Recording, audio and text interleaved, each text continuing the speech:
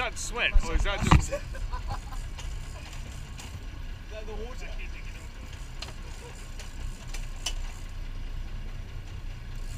Martin is twisting me around. This will be a world record. It'll be the first Dorado ever caught with a guy fighting in the seat.